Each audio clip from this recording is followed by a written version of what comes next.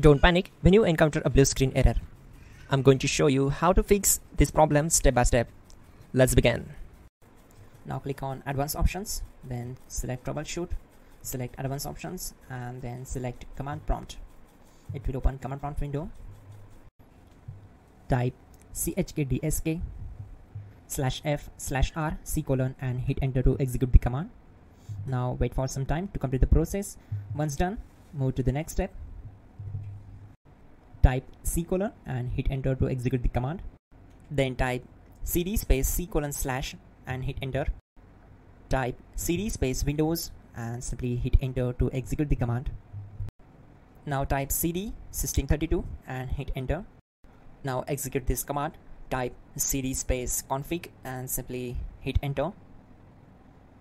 Now type md backup and simply hit enter. Now type copy space star dot star space backup and simply hit enter to execute the command. Now execute this command, type md space backup one, then hit enter.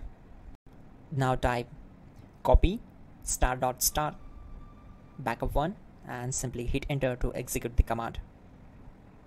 Now type cd regback and hit enter. Then type dir and simply hit enter. Now type copy space star dot star space dot dot and hit enter. Then type all and hit enter to execute the command. Now execute this command. Type bootrec space slash fix mbr and simply hit enter. Type bootrec space slash fix boot and hit enter. Type cd space c colon slash and hit enter.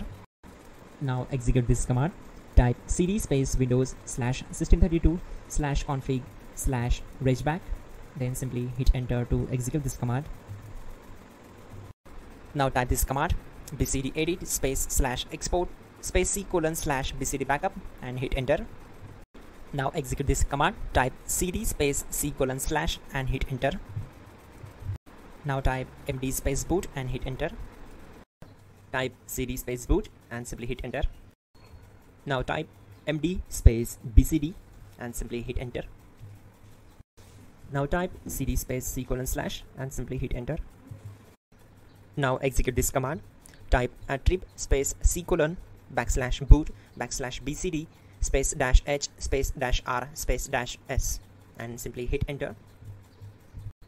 Now execute this command. Type ren space c colon slash boot slash bcd space bcd dot old then simply hit enter to execute this command. And once done let's move to the next command. Now type bootrec space slash rebuild bcd and simply hit enter. Now type exit and simply hit enter. Now click on continue. It will restart your system.